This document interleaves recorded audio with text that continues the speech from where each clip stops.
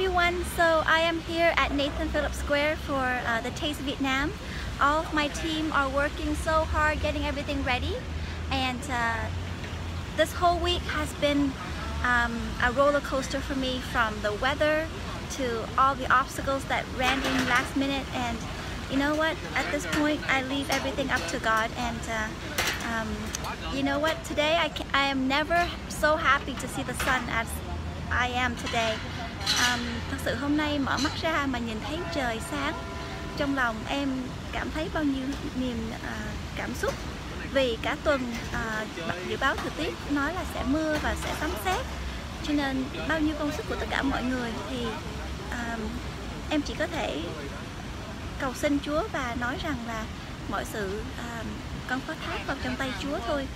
Thì uh, quả thật là hôm nay uh, cầu xin Chúa và Đức Mẹ ở cùng chúng ta um, tất cả các bạn tất cả những ờ, người vendor um, họ thức rất là sớm tới đây từ 4 5 giờ sáng.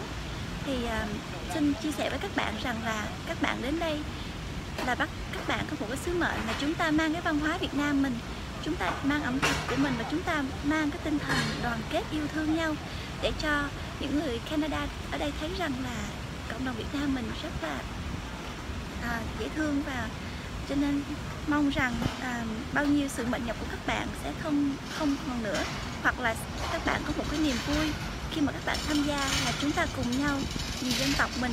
Thì à, xin chân thành cảm ơn tất cả và các bạn nào đang coi video này hãy xuống đây chúng ta hãy mặc áo dài.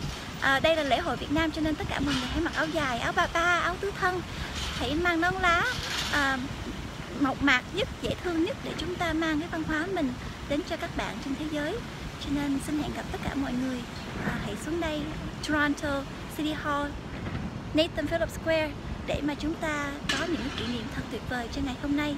Đây là một cái sự kiện event của chung chứ không riêng của nhóm nào hoặc là tổ chức nào.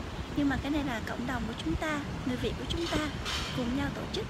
Thì à, một ngày rất là hạnh phúc và à, xin Chúa ở cùng chúng ta và ơn trên ban cho chúng ta một ngày thật tuyệt vời. Xin chào các bạn và hẹn gặp các bạn chút xíu nữa nhé. Bye bye các bạn.